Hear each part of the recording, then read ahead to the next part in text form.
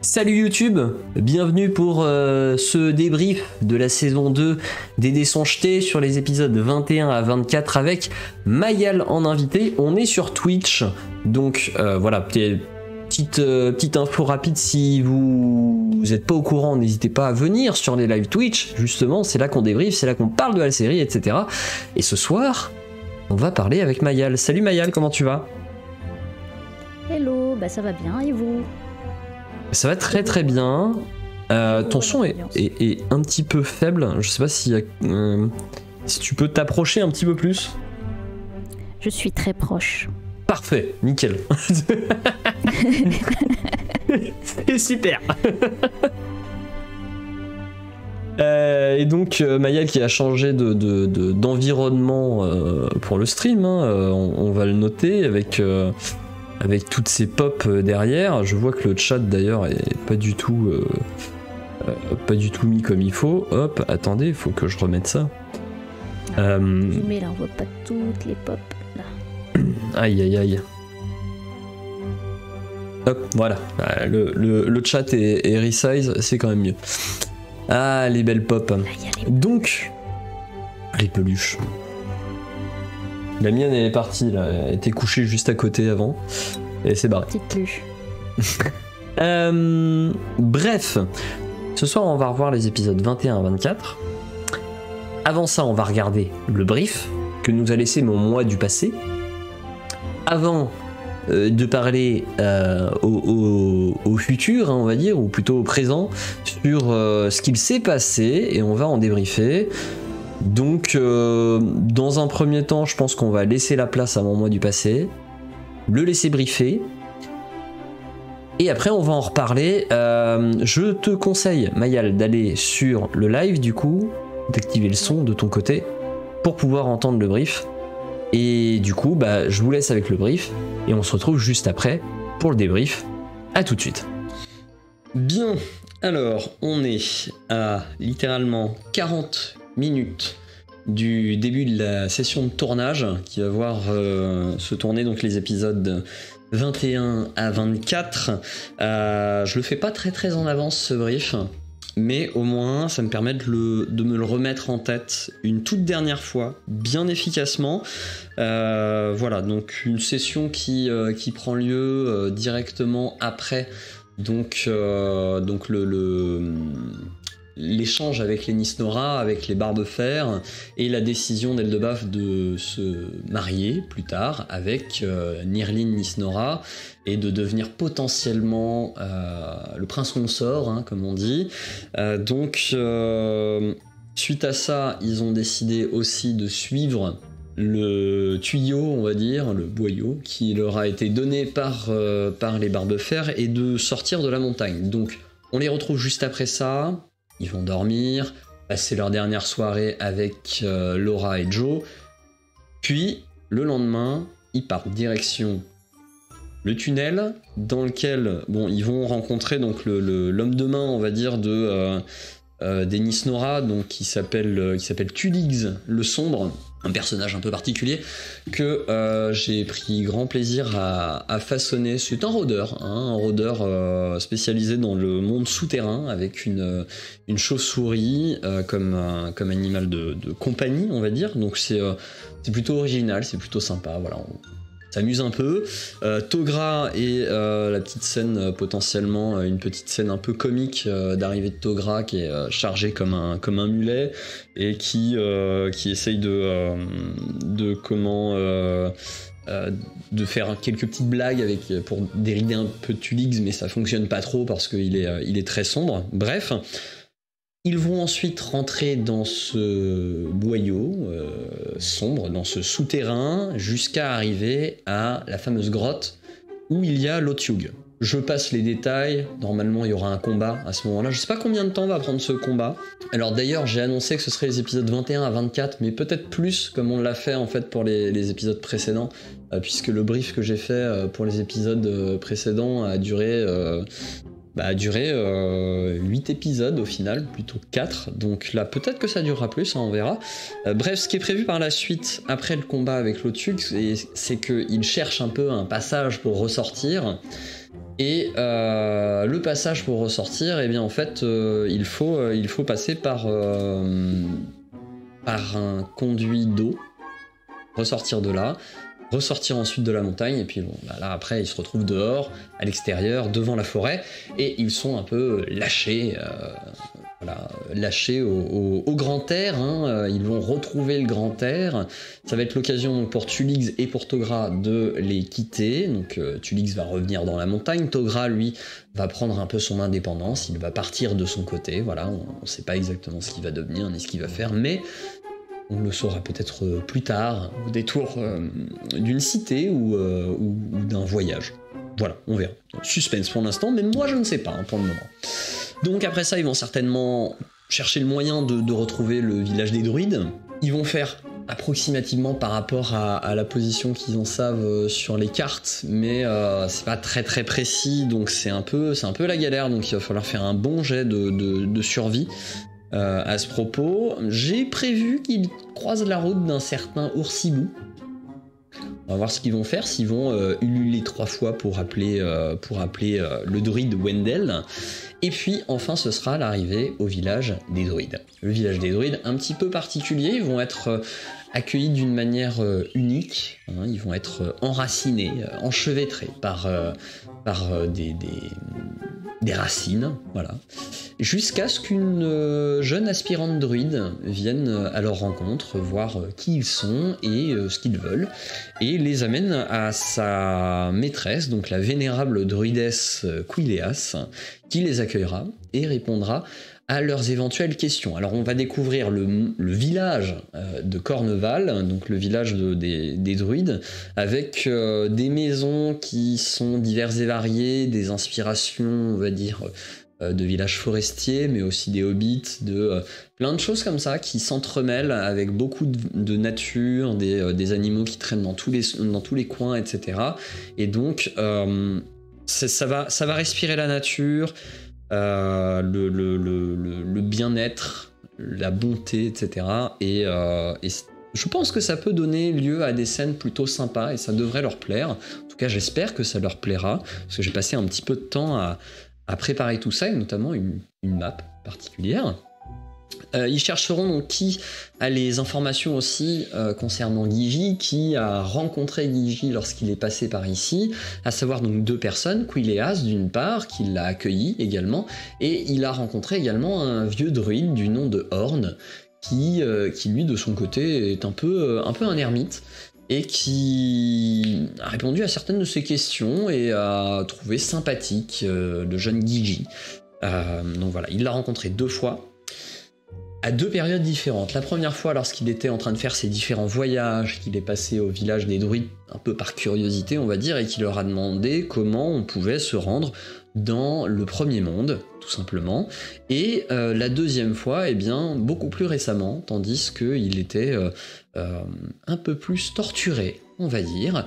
Et il a... alors j'ai parlé du premier monde, pardon, mais non, le premier monde c'est l'équivalent Golarion, là c'est le monde chromatique, même si ça...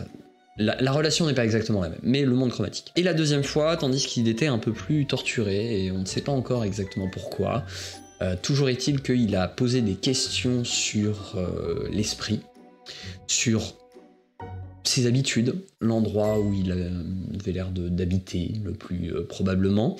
Et après ça, eh bien, les aventuriers auront la surprise d'être euh, invités, on va dire, par, euh, par l'enraciné.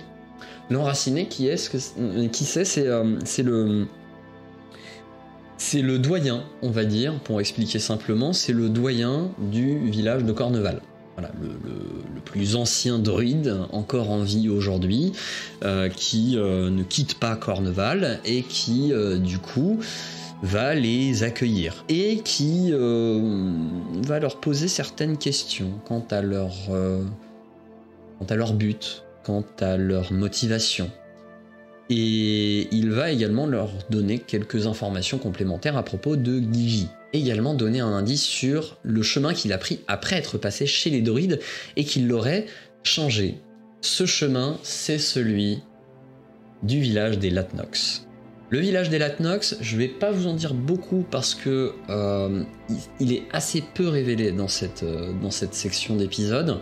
Le village des Latnox, il vous sera révélé un peu plus tard avec un personnage qui intervient notamment à la, fin de, ces épisodes-là, un peu euh, en suspense, en, climax, et je vais pas plus le révéler que ça, puisque ce sera la surprise des prochains épisodes.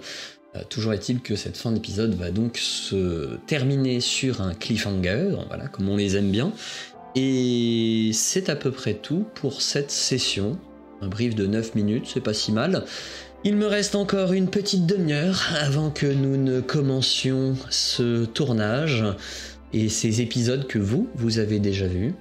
J'espère qu'ils vous ont plu et que vous les avez savourés comme il faut. Je vous donne euh, rendez-vous euh, eh bien, euh, dans le présent. Maintenant, je donne la parole à mon moi du futur pour débriefer avec vous de ces sessions. Et je vous dis à très bientôt dans les prochains épisodes des Dessins Jetés. Bye bye.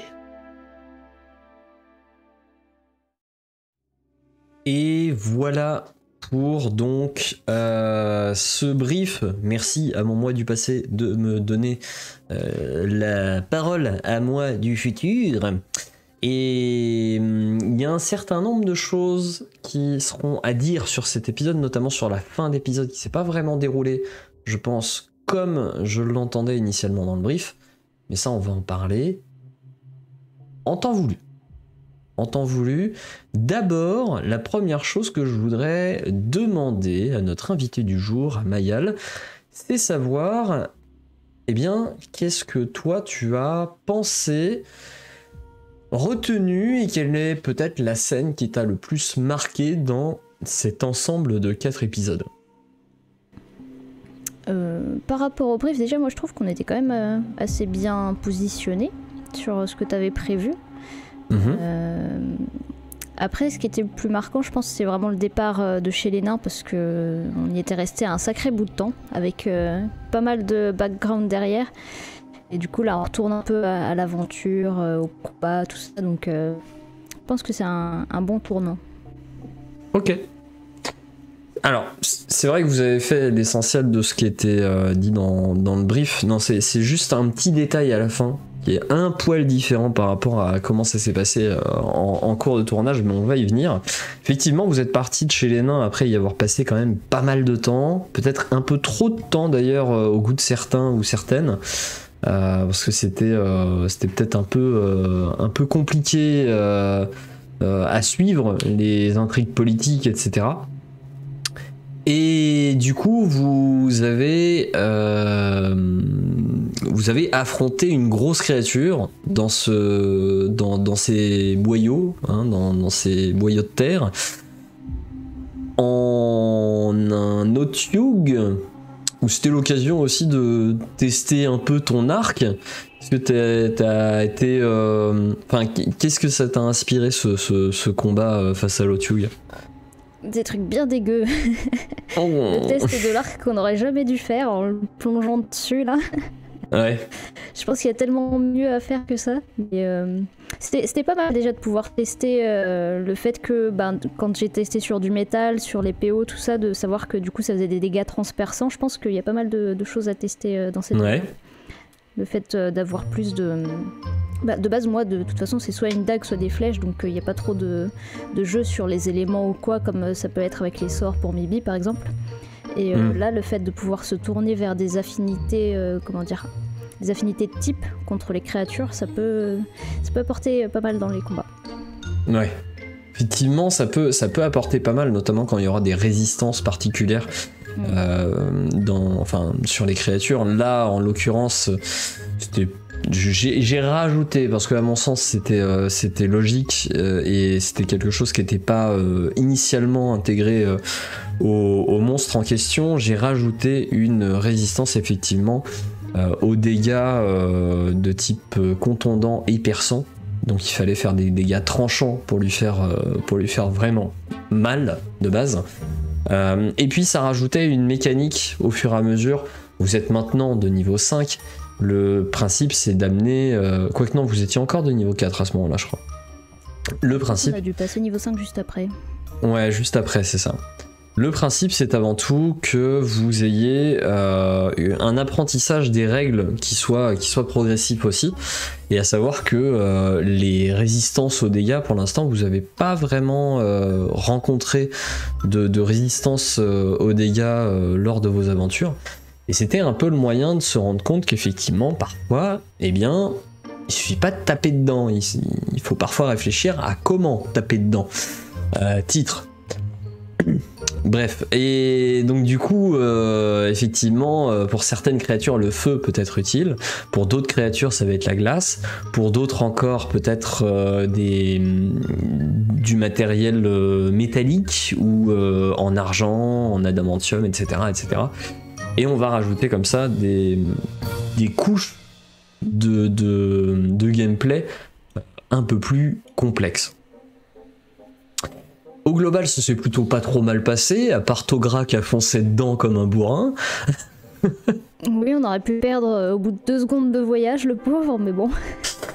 Mon voyage aurait été très court. Hein. Je pense qu'il y, a un oncle qui vous en aurait voulu, là, euh, quelque part. Ou alors euh, vraiment très très loin, jusque dans l'au-delà, quoi.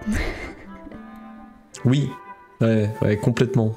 Mais euh, du coup, bon, ça s'est pas trop mal passé. Tulix a, pas hyper bien servi. de, mon, point de vue, c'est un personnage que j'ai créé euh, en étant euh, persuadé qu'il allait être quasiment le, lead pendant tout le combat. Il a foiré ses premières attaques. Spoiler alerte, ça a pas changé grand chose du coup. non, et puis déçu, la petite chauve-souris, elle a pas servi à grand chose. Ben, en fait, si, elle a essayé de bah, elle, a, elle a repéré un peu l'endroit et euh, en fait, euh, normalement, ce qu'elle a fait, c'est qu'elle a volté un peu autour de, de l'œil de Lotyug pour le déranger. Alors après, euh, ça a pas trop trop bien marché parce que Lotyug a fait un super jet. Mais bon. Déception déception. Mais bon, c'était l'occasion de voir qu'effectivement, il y avait moyen d'avoir euh, autre chose comme type aussi de, de, compagnon animal, pas forcément euh, des compagnons à poil ou, euh, ou à, à quatre pattes. Ça peut, ça peut être un peu différent, et là, en l'occurrence. caracal. Non, non, non, non, du tout, du tout, il est très bien ton caracal. Déjà, c'est un type de compagnon animal plutôt différent de ce qu'on peut croiser habituellement, que habituellement plutôt euh, des chiens, des loups, euh, euh, des, faucons, des choses comme ça qui sont très classiques.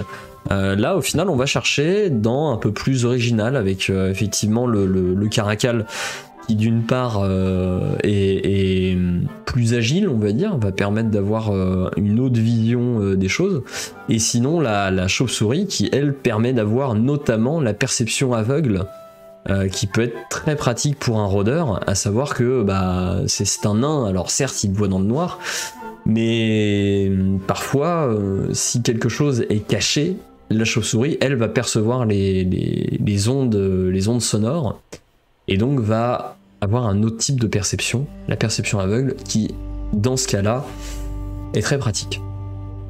Ça, c'était pour montrer effectivement l'étendue des, compagnons animaux qu'on peut avoir. Bref, le combat s'est pas trop mal passé. Il y a eu des dégâts, mais pas trop violents non plus. Enfin, il y a eu des dégâts violents, mais pas de mort, on va dire ça comme ça plutôt. On, a moins risqué que sur les derniers combats qu'on avait eu dans la forêt, on va dire. Ouais, on, a, on a été sur un combat quand même. Sur, euh, si on reprend l'historique des combats, euh, les dés sont jetés un des combats les plus efficaces au final. Mm.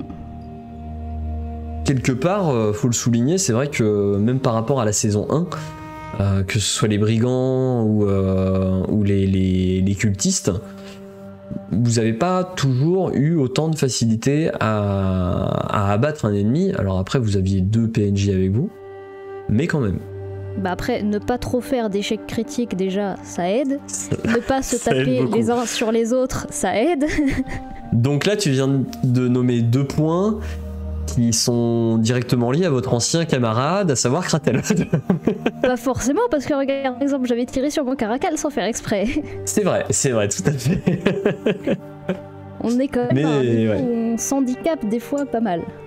Oui, bah après, euh, c'est comme ça, effectivement. les, échecs critiques. On est euh, plus efficace, quoi. C'est vrai, c'est vrai. Après, euh, les échecs critiques, quand on tombe dessus, c'est vraiment pas de bol, quoi. Et ça, euh, on peut rien y faire à ce moment-là. Mais bon.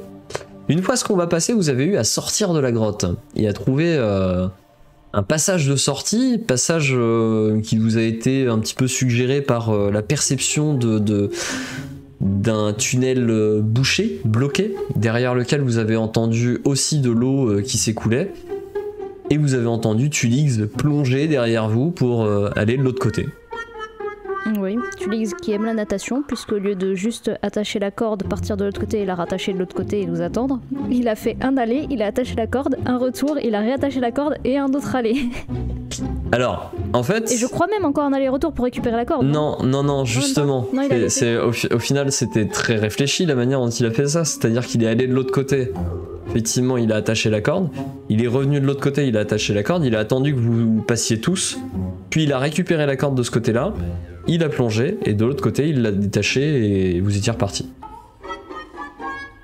Au final, euh, il aurait juste pu attacher la corde, faire l'aller, attacher la corde, nous attendre et puis laisser la corde pour son retour, quoi. Bah ouais, mais il est peut-être pas repassé par là. Il comptait peut-être pas repasser par là. Ouais, ouais, ouais, ouais. Dans ma tête, par rapport à lui, c'était très logique. J'ai pas le son des, des alertes? Comment ça se fait? Non? Vous, vous l'avez le son des alertes ou pas? Ça marche pas.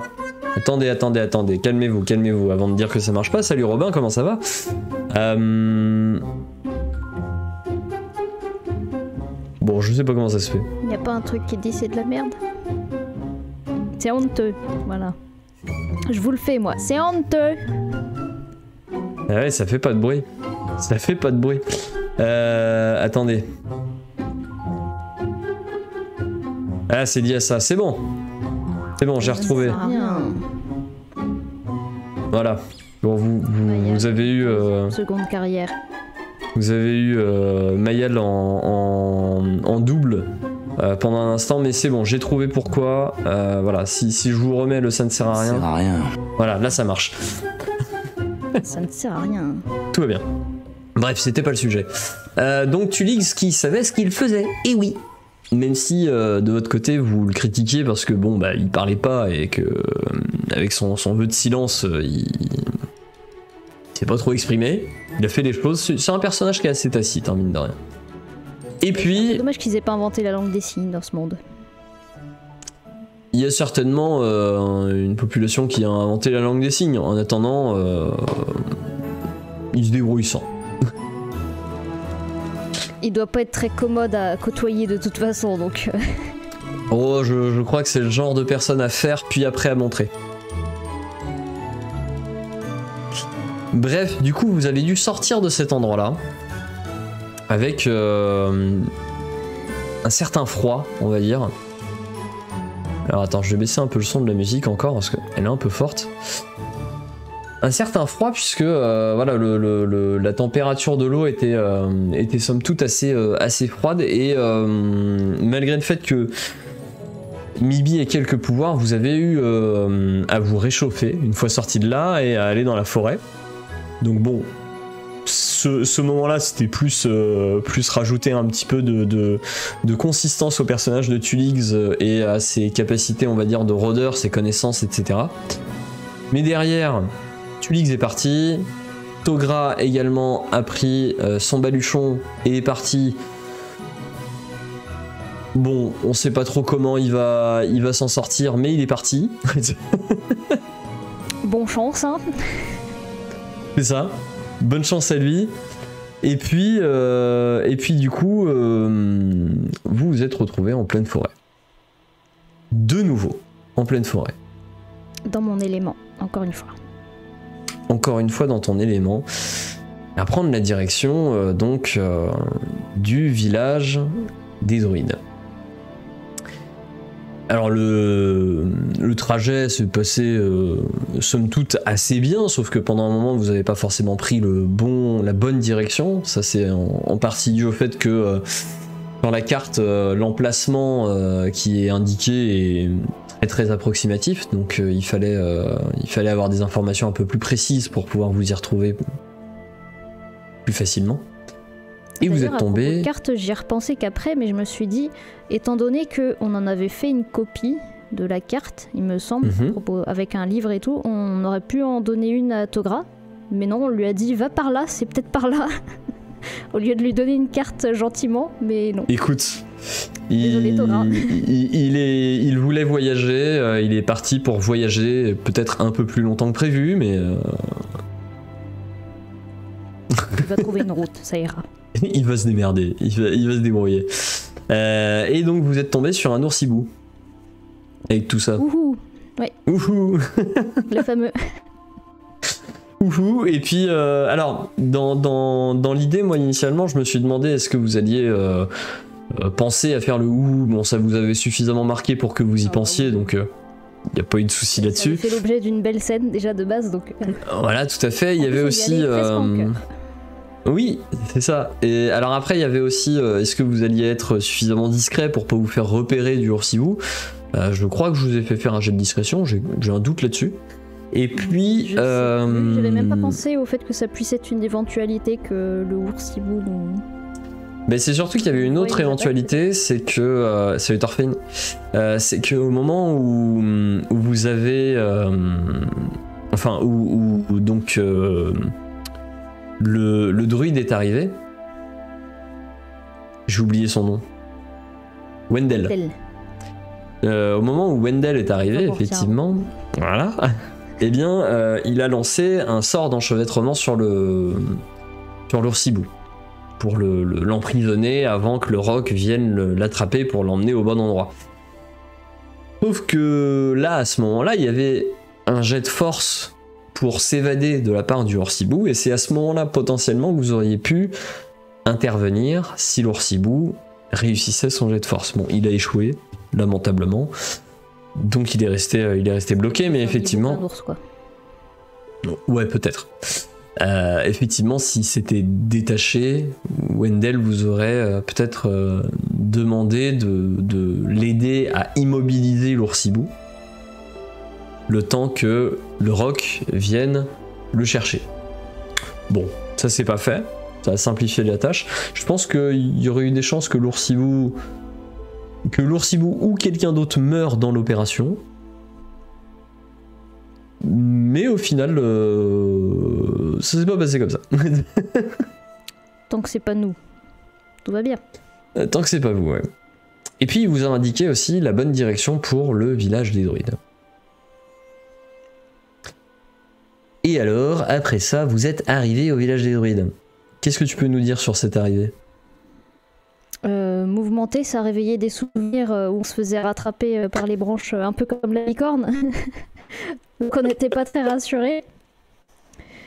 mais bizarrement, c'était un peu l'inverse avec la licorne, parce qu'avec la licorne, c'était moi qui m'étais fait attraper, et du coup, les camarades qui venaient à la rescousse, et là, c'était moi la seule qui ne m'était pas fait attraper, du coup. Et tous les autres qui étaient, qui étaient bloqués effectivement. Euh, euh, c'était euh, une scène assez, drôle avec Mibi qui essayait de, de, cramer son Céliane, mais en faisant des étincelles, donc ça allait prendre des heures et des heures. C'était improbable que ça finisse. Et puis Gan qui au final est arrivé pour vous voir. Gan, une personnalité plutôt rayonnante, hein, assez enjouée plutôt amusé à l'idée de voir de, nouveaux voyageurs euh, à chaque fois, qui est une aspirante druide, hein, pas vraiment une druidesse encore, et qui vous a accueilli. Est-ce que quelle a été la pensée au départ quand vous êtes tombé sur euh, sur Gan bah, quelqu'un pour nous sauver ou alors quelqu'un qui nous attaque, on sait pas trop. Mais bon, elle avait l'air contente donc. Euh, C'était une enfant aussi, en soi. Mais euh, du coup, moi, je me pose des questions par rapport aux lianes, si euh, elles ressemblaient vraiment ou pas à celles de la licorne, et du coup, si c'était le. le. Comment dire? Le raciné. le raciné qui avait attrapé la licorne. Non, non, non, non c'était totalement différent. C'est-à-dire que là, effectivement, c'était des ronces, des racines, etc., qui vous grimpaient dessus pour vous, pour vous immobiliser. Dans le cas de la liane, c'était vraiment une liane vivante qui, qui était donc entièrement verte, etc. et qui, qui enserrait la licorne et tentait de l'étrangler, etc. Donc non, c'était pas du tout le même type de végétation. Et alors, c'est un peu méta, mais je vois pas pourquoi un personnage comme le l'enraciné pour le coup s'attaquerait à une licorne. Mais bon. Je sais pas, c'était peut-être une licorne chromatique.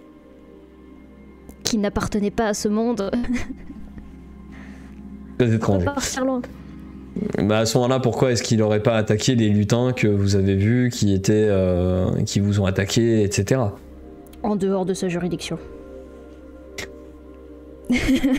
Ça marche pour tout. Hors de portée. Ça marche pour tout. Bref, du coup, vous êtes arrivé. Euh, enfin, elle vous a euh, posé deux trois questions pour savoir qui vous étiez et ce que vous veniez faire ici. Le ce que vous veniez faire ici n'était pas très très clair pour tout le monde. J'ai l'impression. Bah déjà, je me suis dit, mais enfin, je sais plus si c'était Mibi ou Eldebuff qui lui répond direct en mode, euh, bah oui, on vient voir les druides et tout, on veut, on veut ça, on veut ça, et j'étais en mode, mais faut pas lui dire tout de suite, quoi. Enfin, ça se trouve c'est une méchante, on sait pas encore, on la connaît pas. Eh, il y avait un peu de méfiance, quoi. Psychopathe. Euh. Ouais. Bah après, tu, tu sais jamais effectivement. on n'est pas en position de force, on est un peu attrapé là. Je vous ai pas encore mis dans une situation où euh, un personnage euh, qui, donne l'impression euh, que vous pouvez avoir 100% confiance en lui, au final vous, vous, vous, la met à l'envers et... Pour l'instant c'est pas arrivé, ça a plutôt été l'inverse. Des personnages dans lesquels vous, vous aviez pas forcément confiance de prime abord, qui se sont révélés être fiables au final, que ce soit Miklos, euh, que ce soit euh, les, abeilles avec, euh, l'Urilis, qui d'autres C'est déjà pas mal. Au niveau des nains aussi, vous n'étiez pas forcément très très en confiance avec, avec notamment la famille Nisnora qui vous a fait venir chez elle, puis au final avec le plan qu'ils vous ont expliqué. La politique c'est toujours un peu bourbier, on sait jamais. Ouais, tu sais jamais si tu fais confiance à la bonne personne. D'ailleurs, est-ce que est-ce que c'est une bonne idée de faire confiance à, à Eldebaf? Mais bon. Bah, pour le coup, il connaît peut-être un peu mieux les nains, et puis c'est chez lui, donc c'est plus notre souci si jamais il se passe des trucs. mais bon, effectivement, c'est vrai que je vous ai jamais mis dans cette situation, mais c'est euh, alors pour parler de, sur des mécaniques de jeu, euh, c'est quelque chose qui est qui est qui fait il fait un peu débat euh, dans le jeu de rôle, à savoir est-ce qu'il faut ou pas mettre les joueurs dans une situation où ils se font trahir et à quelle fréquence il, faut le faire. Euh, et en fait, il y a certains MJ qui sont très adeptes de en fait punir la, naïveté potentielle de leurs joueurs. Euh, au risque de créer des joueurs qui sont 100% parano, et ce que je trouve absolument dommage parce que euh, du coup euh, on en vient à la situation où vous arrivez dans un couloir, euh, vous faites pas un pas sans, sans lancer de détection ou sans lancer de perception. dès qu'un personnage vous parle, vous allez demander 36, 36 sécurisations sur, sur le fait de lui faire confiance ou pas. Bref, il y a ce débat dans la, dans la communauté release de est-ce que oui ou non il faut faire ce genre de choses. Moi je suis partisan de le faire de temps en temps, mais il faut vraiment que ce soit des exceptions pour que l'effet de trahison soit vraiment, euh, soit vraiment euh, euh, fort et que quelque part ça, ça ait l'impact recherché. Si quelque part toute personne que vous croisez peut vous trahir, je vois pas l'intérêt. Il faut quand même qu'il y ait des gens de confiance, etc. On l'a pas encore vu, ça va pas tarder. Je sais pas. Je sais pas parce que ça va dépendre du personnage que je vous propose, de la quête que je vous propose. Je, je, comme dit précédemment, je suis généralement pas un MJ plutôt méchant. Et si je le fais, c'est que d'un point de vue narration, je trouve que c'est intéressant de le faire.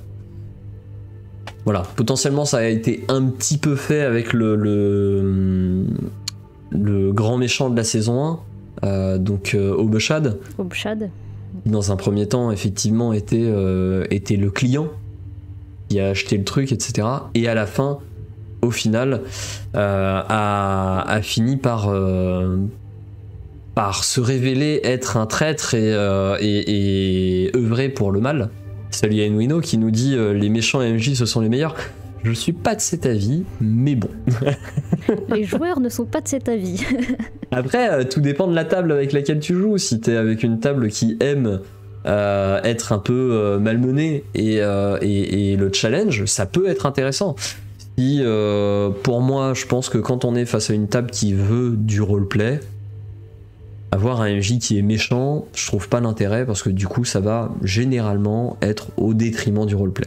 Mais après, euh, tout dépend des tables. Et puis surtout, après, s'il y a que un ou deux joueurs qui marchent dans le truc et que les autres se méfient, euh, on est déjà une équipe qui discute pas mal avant de prendre des décisions pour se mettre d'accord. Donc s'il y en a qui, qui fait confiance et pas l'autre, et eh ben on peut rester mm. longtemps comme sur le, le, débat de rubrique par exemple. Il faut l'aider ou faut pas l'aider ou machin. Euh, tout à fait. rubrique. Ça peut durer longtemps et être enfin un peu cloîtré après le, les possibilités de jeu derrière si on tombe pas d'accord quoi. Mm, tout à fait. Ça, ça peut euh, énormément ralentir le rythme et mm, faire en sorte que euh, les joueurs soient dans un, dans un univers dans lequel ils savent assez facilement en qui ils peuvent avoir confiance et en qui ils ne peuvent pas avoir confiance, ça simplifie beaucoup de choses. Grosso modo.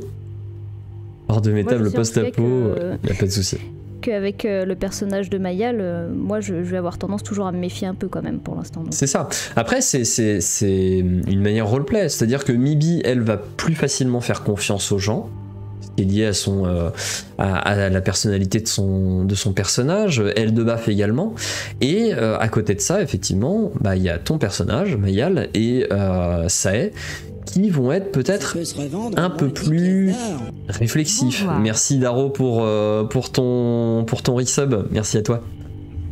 Sixième mois déjà, merci à toi. et, euh, et, du coup... Euh, et du coup c'est vrai que eh bien, je trouve ça personnellement intéressant d'avoir cette séparation de groupe en termes de confiance qui peut être faite parce qu'il va y avoir les personnages qui, euh, qui se méfient plus facilement. Et, euh, et, les personnages qui vont être mais non mais t'es parano c'est bon ils sont cool ils sont sympas et tout donc on peut y aller. Ah, on a de la compagnie. Voilà. Hmm, qui a fêté ses 10 ans hier. Oh la mamie.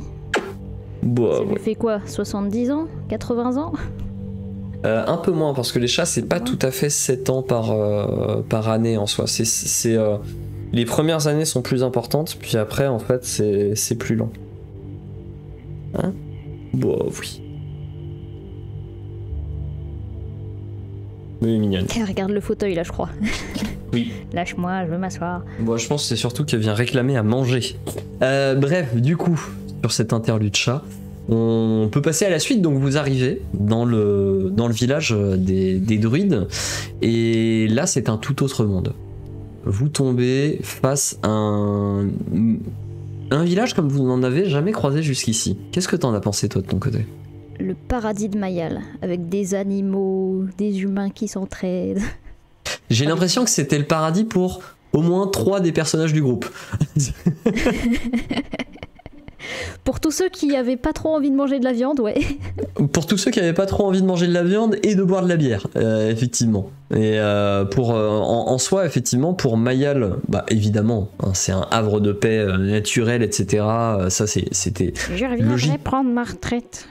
Voilà, c'était logique que ce soit un endroit qu'elle affectionne particulièrement.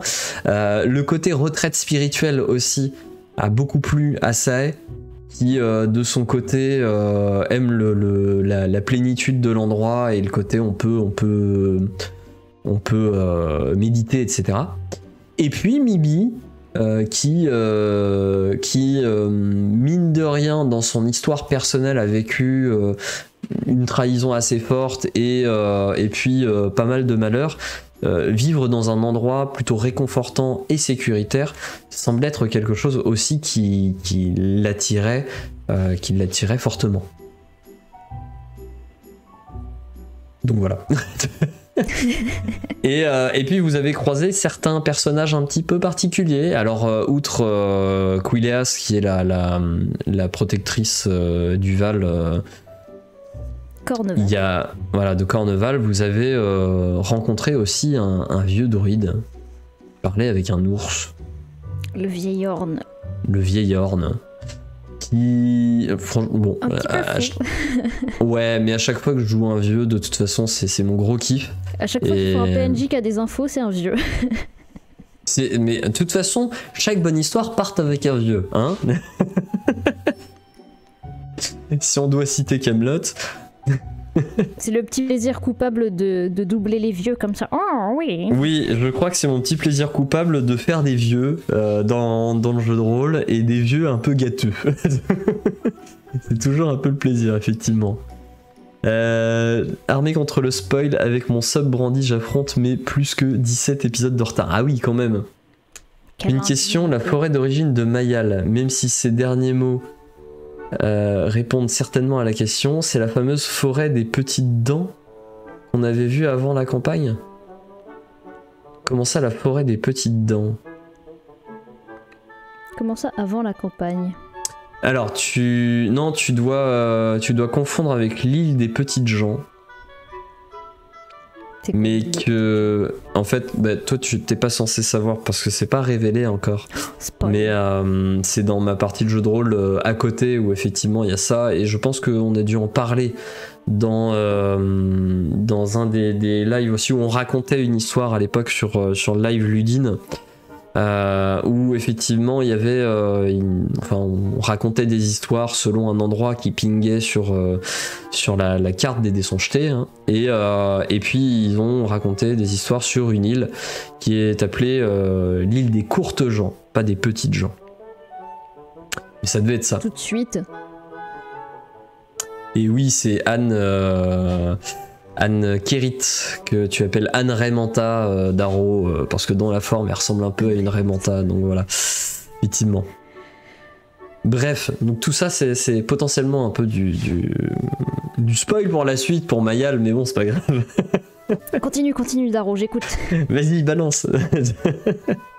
Bref, du coup, vous avez échangé avec le vieillard qui vous a donné quelques infos concernant Guigi.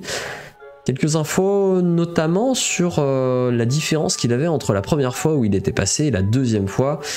Euh, et ça, pour le coup, c'était des infos plutôt qui vous ont intrigué, notamment le fait qu'il était plus coloré, mais en même temps plus perturbé. Mm. Qu'est-ce que ça vous a amené comme réflexion sur le moment, ça? Bah que forcément il y avait un lien avec euh, une potentielle vide dans le monde romantique entre les deux. Mais est-ce que du coup il est encore lui-même? Est-ce que... Enfin qu'est-ce qui a pu lui arriver pour qu'il change comme ça et pourquoi il est revenu une deuxième fois après enfin, Hmm. Plus de questions que quand on est arrivé en gros. Ah oui, bah c'est, le problème en fait quand on quand on fait une enquête. Généralement, il y, a un- il y a un moment où en fait, à chaque euh, nouvel élément d'enquête que tu retrouves, ça te rajoute des questions. Tu es en train de te demander qu'est-ce qui s'est passé, jusqu'à ce que tu trouves l'élément déclencheur qui vienne te permettre de tout rassembler ensemble et de répondre à à peu près toutes les questions. Pour l'instant, vous ne l'avez pas encore trouvé.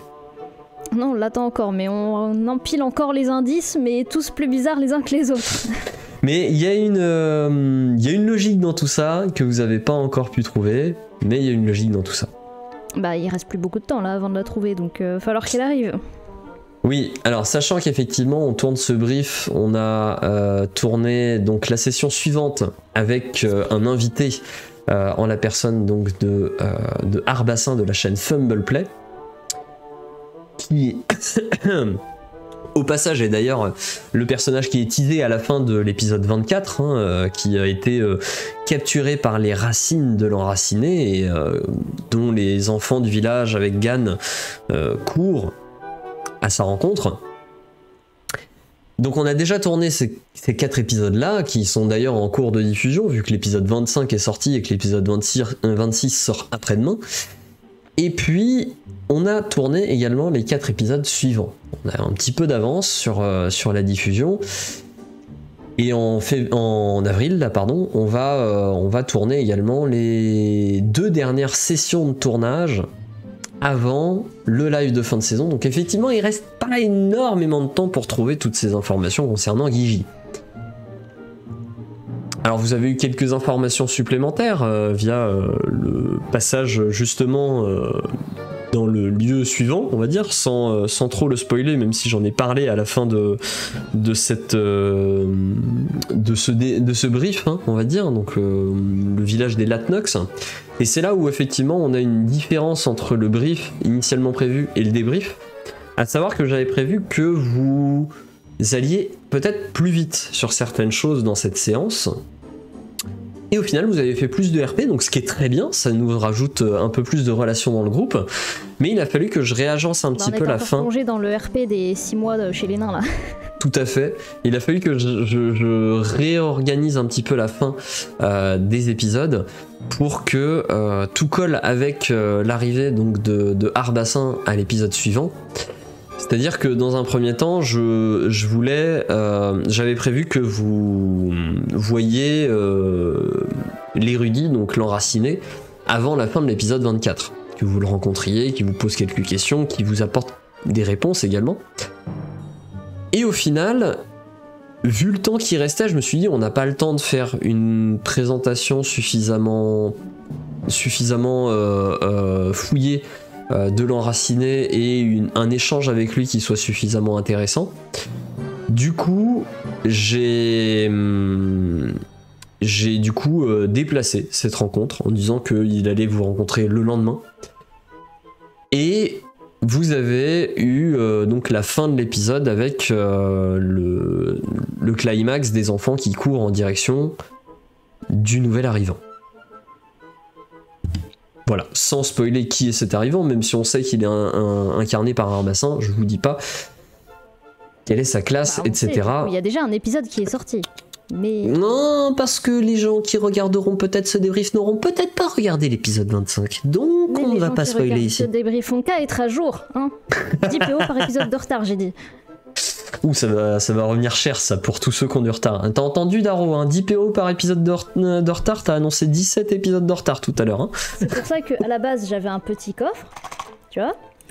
C'est honteux Je vais prendre un plus grand. Et à chaque saison, il va grossir, tu vois.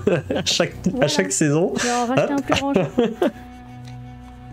ça va commencer à faire beaucoup de PO à la fin. Hein. Euh, oui, on arrive bientôt à la fin de la saison quelque part, hein, on, est, euh, on est à l'épisode 25. Donc l'épisode 25 est sorti. Il en reste euh, finalement plus que 15. Donc euh, on a dépassé la moitié. J'en ai rattrapé beaucoup. Déjà, j'étais à l'épisode 26 de la saison 1, il n'y a pas deux semaines. Ah oui, effectivement. Ah, ça Effectivement. Ah Edgelour est à jour, Mamoutre est à jour, bah, bref. pour bien son nom. Bravo. Bref, effectivement, j'ai un peu remanié la fin de, cet épisode 24. Ça n'a pas changé grand chose, ça a juste décalé un peu les informations qui étaient prévues avec l'enraciné sur l'épisode 25 et rassembler en fait la rencontre avec l'enraciné avec, euh, avec au final le personnage d'Arbassa. Bref, ça n'a pas changé énormément de choses. Mais bon, est-ce que vous avez des questions dans le chat ou est-ce que toi d'ailleurs tu as une, question ou une scène en particulier que tu veux souligner après ce débrief T'as plu, qui t'a déplu peut-être, ou qui t'a inspiré? Ben. Difficile à dire. Après, je pense que au niveau du personnage de Mayal, c'était euh, important pour elle euh, la visite chez les druides, du fait qu'on a rencontré le. le je dis toujours son. l'enraciné parce que pour elle, euh, comme euh, elle pris Geliem, donc euh, une déesse de la forêt et tout, c'est un peu comme si elle avait rencontré une divinité, quoi. L'être le plus vieux qu'elle ait jamais connu, le plus important de la forêt presque. Mmh, tout à fait. Puisqu'elle ne connaît peut-être pas encore l'esprit de la forêt dont a parlé le vieil Orne. Oui, c'est ça. Alors euh, effectivement, c'est, je, pense quelque chose effectivement de particulièrement important pour Mayal, quelque chose de, fondateur presque, parce que euh, elle vit dans cette forêt depuis depuis toujours, et elle rencontre pour la première fois cet individu euh, presque, enfin très mystique et presque divin. Euh, qui est l'enraciné. Et euh, c'est quelque chose de, vraiment très particulier, mais je dirais que. Alors après, c'est à toi de me dire aussi comment, euh, comment tu le vis de ton côté. Mais Mayal, progressivement, est aussi attiré vers, euh, vers des territoires bien plus éloignés que cette, euh, que cette forêt. Et quelque part, euh, même si elle rencontre cette, ce personnage quasi divin, elle a cette, ce défi presque qui lui est donné de savoir pourquoi ses parents sont partis et où est-ce qu'ils sont partis. Et de ce qu'elle a su en échangeant pour l'instant avec les personnes auxquelles elle a pu en parler, c'est que au final, il y a une vie pour les alphelins en dehors de, de cette forêt et que peut-être que d'ailleurs elle est plus adaptée aux alphelins. Qui sait bah, il y a un peu de ça, mais euh, pour l'instant, je pense que Mayel elle est plus concentrée sur ce qui se passe euh, pour Mibi. Et euh, mhm. malgré le fait qu'elle ait visité euh, bah, quasiment deux saisons euh, de territoire inconnu pour elle en dehors de la forêt, là on voit qu'elle retourne dans la forêt mais qu'elle ne connaît pas tout au final, puisqu'elle avait... Oui, elle n'a pas pu tout observer. On découvre mhm. encore donc... Bah, la forêt est vaste, hein. c'est la plus vaste forêt, enfin quasiment la plus vaste forêt, parce que je crois que la forêt du nord est à peu près de la même taille, voire un peu plus grande.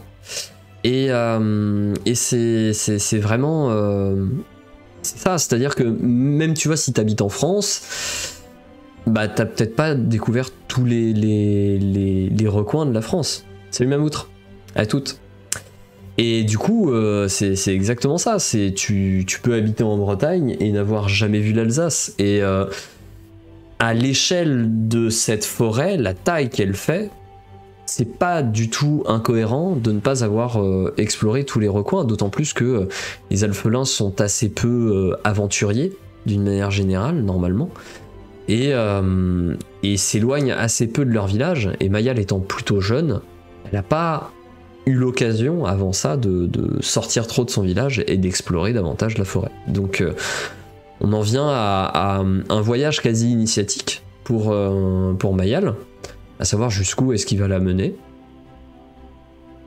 Oui, d'autant plus en plus que quand euh, j'habitais encore dans la forêt et que j'étais euh, déjà sans mes parents, les premières choses qui me venaient à l'idée, c'était pas d'explorer plus la forêt, justement, c'était d'explorer les environs autour de la forêt que je pouvais, que je ne connaissais pas, mais qui n'étaient pas de la forêt, quoi. Mais sachant que tu avais un rôle en plus de protection envers le village euh, qui, qui n'était plus qu'habité par les quelques personnes qui avaient voulu rester, et qui ne voulait pas partir.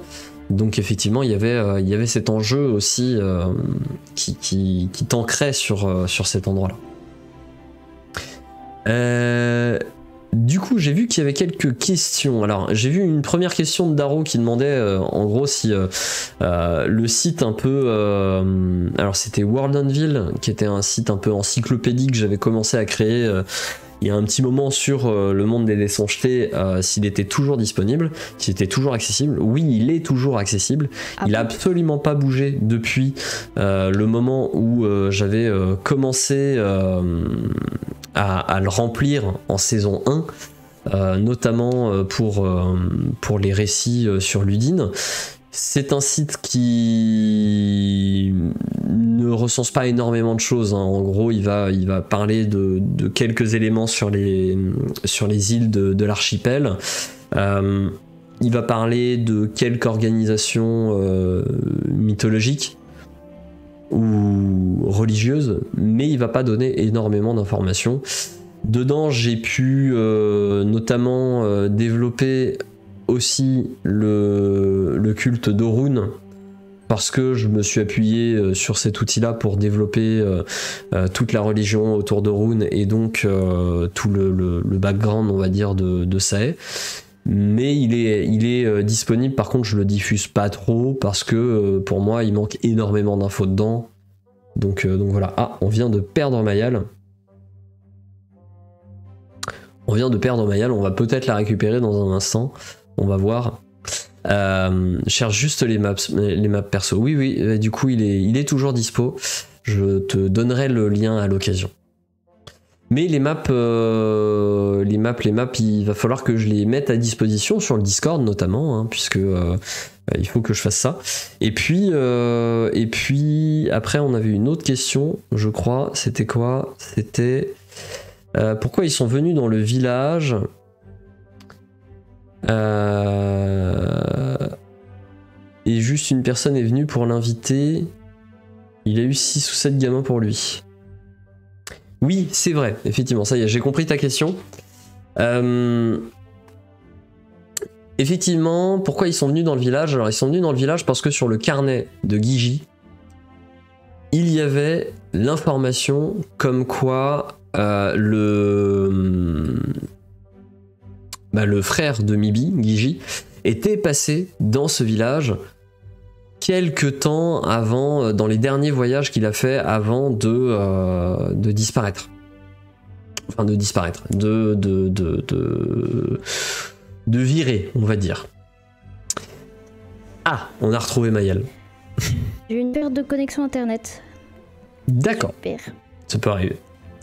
Donc du coup, ils sont venus dans ce village parce que voilà, euh, il y, avait, euh, ça faisait partie des, du faisceau d'indices, on va dire, dans le dans le carnet de Gigi qu'ils ont suivi, qui les a amenés ici, où euh, ils se sont dit voilà, les, druides euh, font partie des dernières personnes qui qu'il a visitées avant euh, avant de, de cesser de donner euh, signe de vie, on va dire. Donc euh, ils sont allés les voir pour euh, savoir euh, ce qui s'était passé. Euh, sur l'autre question, pourquoi juste une personne qui est venue alors que pour l'inviter il y a eu 6 ou 7 gamins Euh, C'est une très bonne question. Et ça vient tout simplement du fait que eh bien, les gamins. important. Non, non, non, c'est juste que les gamins étaient en cours à ce moment-là. Ils avaient un, un cours qui leur était donné et ils n'ont pas été autorisés à quitter le cours. Alors que bah, quand, euh, quand euh, euh, l'invité est arrivé, les gamins étaient en récréation. Donc ils ont couru. Tout simplement. Et puis c'était aussi pour intriguer un peu plus. Ouais, c'est un peu trop simple. Mais c'était aussi pour intriguer un peu plus les, euh, les, les joueurs et joueuses. Et euh, si je leur avais euh, tout de suite donné une ribambelle de PNJ qui leur saute dessus alors qu'il y a déjà quand même 4 joueurs et joueuses, ça aurait été un peu difficile à, représenter et un peu difficile pour eux de prendre la parole avec euh, tant de personnes autour d'eux. Alors que là, pour intégrer et introduire l'invité, avoir plusieurs enfants qui lui sautent dessus, c'est un moyen aussi de le mettre dans l'ambiance dans laquelle il va être plongé. Et donc, euh, je trouvais que c'était plutôt efficace et plutôt sympathique. Vous me direz ce que vous en aurez pensé dans l'épisode 25. hein. D'ailleurs, n'hésitez pas à aller le voir, il est disponible. L'épisode 26 est déjà disponible d'ailleurs sur Tipeee aussi. hein. N'hésitez pas à aller le voir aussi si vous, euh, si vous typez. Et puis, euh, et puis voilà. S'il n'y a pas d'autres questions, je pense qu'on va clôturer ici le live. Parce qu'il va falloir que j'aille euh, chercher ma chère et tendre à la gare. Et puis, euh, bah, je pense qu'on a fait le tour. hein. C'était pas un épisode où il s'est passé énormément de choses en comparaison du débrief précédent qui a vu euh, débriefer 8 épisodes chez les nains. C'était un petit peu plus complexe du coup. Là, euh, on était quand même sur, sur un petit débrief, on va dire. Est-ce que tu aurais un dernier mot à dire de ton côté, Mayal? En lien avec cet épisode Ou une question typée Ah. Ou une question sinon qui te, qui te vient Euh, ben non, parce que j'ai déjà la suite, limite. Mais je veux pas oui que la fin, ça va être rattraper votre retard si vous êtes en retard. Que plus vous aurez de retard, plus il faudra rattraper. C'est un cercle vicieux. Plus il y a de retard, plus il faut rattraper. Effectivement, essayez de vous tenir à jour parce qu'en plus, euh, on risque de vous spoiler ici, quoi. Voilà. Bref, c'est là que du ça va devenir intéressant parce qu'on va forcément finir par se rapprocher de Guy. hmm, Et à oui, fait. je bug parce que je n'ai plus le Wi-Fi 5 GHz, plus assez de bande passante. c'est ballot. Euh, bref, du coup, ça va être euh, la fin de cet épisode, de ce, cet épisode, de ce débrief. Pardon, j'ai l'habi- j'ai l'habitude de dire que c'est la fin de cet épisode avec euh, Mayal qui euh, qui est en 5 FPS actuellement. Euh, donc, euh, on va on va laisser Mayal. On vous va tous vous souhaiter d'ailleurs une excellente soirée. Merci d'avoir suivi euh, ce live de débrief des épisodes 21 à 24. Merci YouTube d'avoir Regardez également cet épisode de débrief. Euh, n'hésitez pas à nous rejoindre sur les lives hein, euh, où on parle également de, euh, bah, des épisodes et où on fait plein d'autres trucs hein, d'une manière générale. Et puis prenez soin de vous, amusez-vous, mais n'oubliez pas les dés sont jetés. À très bientôt. Bye bye. Bye bye.